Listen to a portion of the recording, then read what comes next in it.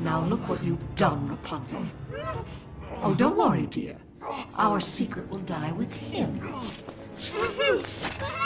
And as for us, we are going where no one will ever find you again.